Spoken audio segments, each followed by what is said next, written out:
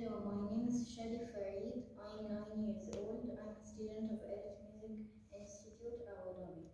I'm playing for the second Fujairah Piano Competition National Contest. I'm going to play March by Robert Schumann and Etude number 15 by Cherny Germer.